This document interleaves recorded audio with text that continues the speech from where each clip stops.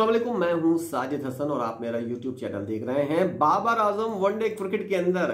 ऐसे वक्त के अंदर जब एशिया कप होने वाला है वर्ल्ड कप होने वाला है, ये पाकिस्तान का किंग बैट्समैन पहले नंबर के ऊपर मौजूद है 887 पॉइंट्स के साथ पाकिस्तान का बाबर आज़म इस वक्त दुनिया क्रिकेट के ऊपर तमाम बैट्समैनों के ऊपर राज कर रहा है। और क्या विराट कोहली, क्या डेविड वार्नर, क्या केन विलियमसन, तमाम लोग बिल्कुल पीछे हैं और इस वक्त एक बंदा पाकिस्तान का बैट लेकर आगे खड़ा हुआ है और वो है बाबर आज़म। बाबर आज़म से इंतहाई बेहतरीन बल्लेबाज है, लेकिन मेरी वीडियोस अगर लोग देखते हैं माजी की, उसके अंदर मेरी उनसे इख्तलाफा सिर्फ़ ये है कि उनकी कैप्टनशिप इतनी अच्छी नहीं है और लोग मुझे ये समझाते हैं कि बाबर आज़म जो है, अब अच्छा कैप्टन बनना शुरू हुआ है, इसलिए खुदा के वास्ते इसकी मुखालफत बंद कर दो। ये अच्छा कैप्टन आने वाले दिनों के अंदर हो सकता है, लेकिन मेरे सोच के अंदर ये चीज़ आ ही नहीं रही। और मैं ये सोच रहा हूँ कि जब इतना बड़ा बैट्समैन विराट कोहली, सचिन तेंदुलकर और ब्रायन लारा जब ये लोग बड़े बड़े बैट्समैन थे और उनको जब कप्तानी दी गई तो ये लोग कप्तानी के अंदर कुछ अच्छी कारकर्दगी का मुजाहरा नहीं कर सके जिसकी वजह से इन लोगों की बैटिंग भी मुतासर हुई थी। ब्रायन लारा को 2003 के वर्ल्ड कप के अंदर हमने देखा कि वो कैप्टनशिप कर रहे हैं और उसके बाद उन्होंने कैप्टनशिप छोड़ दी थी और उसके बाद वो आम खिलाड़ी एक आ, आम खिलाड़ी के तौर पर खिलाड़ी के तौर पर वो लोग वो जो है वो अपनी टीम के अंदर शामिल थे और उसके बाद उनकी बैटिंग जो है वो बहुत ज़्यादा अच्छी हो गई थी।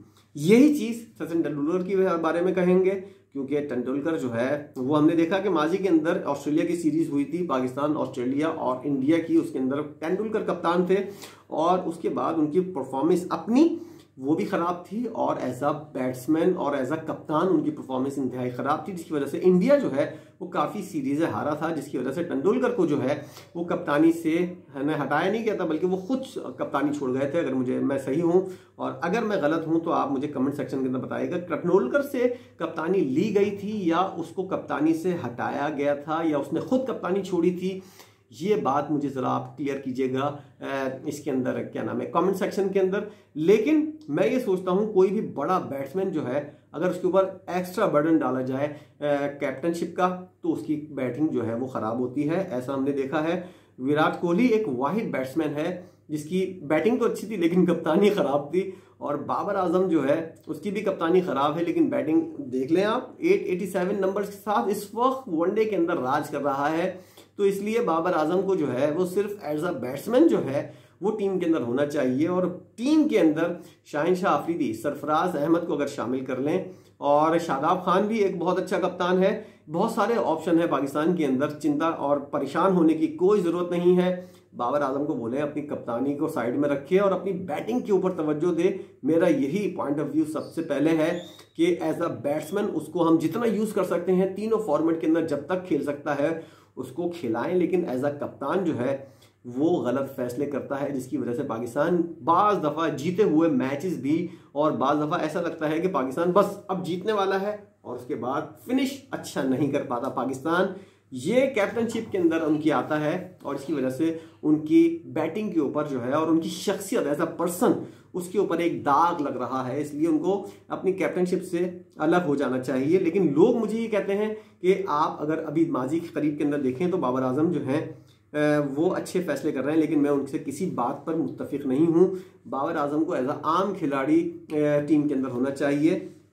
और टेस्ट मैच के अंदर और ख़ास तौर पर वनडे के अंदर बहुत ज़्यादा ज़रूरत होती है एक शार्प माइंड कैप्टन की, जिसके अंदर हमने देखा कि सरफराज अहमद के अंदर ये चीज़ है और सरफराज अहमद को अब कप्तान बनाना चाहिए वो टेस्ट क्रिकेट का, ये भी फैसला हो सकता है और वनडे के अंदर हम किसी और को कप्तान देख सकते हैं और टी ट्वेंटी के अंदर, हो सकता है वनडे के अंदर बाबर आज़म को कप्तानी दी जाए और टी ट्वेंटी के अंदर शान मसूद कप्तान हो और टेस्ट मैचेस के अंदर सरफराज अहमद कप्तान हों।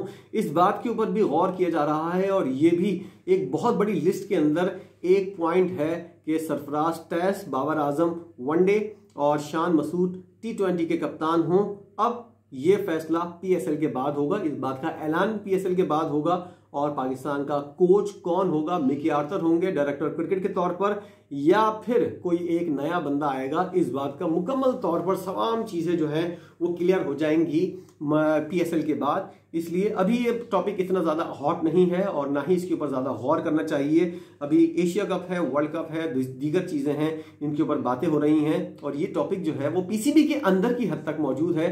कि क्या करना है आने वाले दिनों में, किसको कप्तान बनाना है, किसको कोच बनाना है। और मिकी आथर के बारे में बताया जा रहा है कि वो एक बहुत बड़े उम्मीदवार हैं, इसलिए इस बारे में छोड़ें। और पाकिस्तान के बाबर आज़म जो हैं, वो इस वक्त क्रिकेट के ऊपर राज कर रहे हैं। और जनूबी अफ्रीका के डॉसन जो हैं, वो दूसरे नंबर पर हैं। और इमामुल हक का भी पाँचवा नंबर है। लेकिन इस वक्त टी के अलावा टी ट्वेंटी के अंदर तो सूर्या कुमार यादव हैं और वो बहुत अच्छा बल्लेबाज है। मैं इसकी हमेशा तारीफ़ करता हूँ। और लोग जो ये समझते हैं ना कि मुझे इंडिया से नफरत है या इस तरह की किसी किस्म की कोई वो है, बिल्कुल भी ऐसा नहीं है। इंडिया वाले मेरे दोस्त हैं। मैं उनसे मोहब्बत करता हूँ। और जो अच्छे लोग हैं, पाकिस्तान में हो, इंडिया में हो, इंडिया में भी बहुत ज़्यादा है, पाकिस्तान में बहुत ज़्यादा है तो उन लोगों की कदर भी करनी चाहिए, उन लोगों की इज़्ज़त भी करनी चाहिए। लेकिन जो लोग गलत हैं, चाहे वो पाकिस्तान हो, इंडिया हो या दुनिया में कहीं भी हो, उसकी इज़्ज़त चाहने के बावजूद भी नहीं होती। इसलिए इस बात को छोड़ें। और बाबर आज़म इस वक्त नंबर वन कैप्टन के तौर पर और नंबर वन बल्लेबाज के तौर पर सामने आए हैं। इस बात के ऊपर यकीनी तौर पर एक क्लैपिंग तो बनती है।